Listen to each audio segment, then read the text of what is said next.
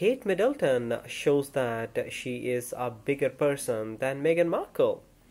Kate Middleton demonstrated that she is a bigger person than Meghan Markle by passing up the opportunity to wear a revenge dress on Christmas Day.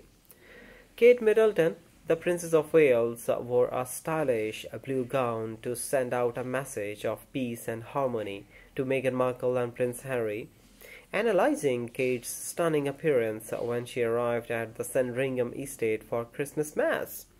A style expert stated that uh, uh, the princess was conveying a hidden message through her clothing.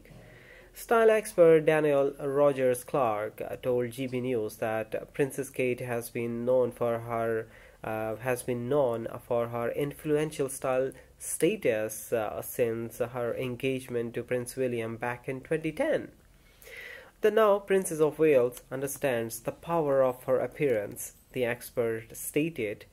As a senior working royal, Kate is unable to speak her truth in the way her sister-in-law Meghan has been uh, uh, has been has been able to. So Kate has become uh, um, accustomed uh, to sending hidden messages through her outfits.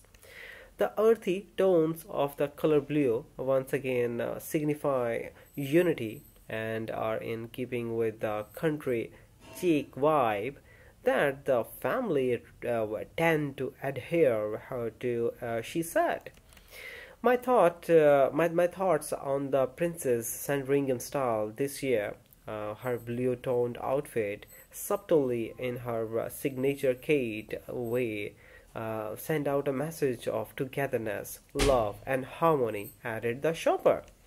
Although uh, I would have loved to see another bold scarlet red look of power, the modern day version of the revenge dress.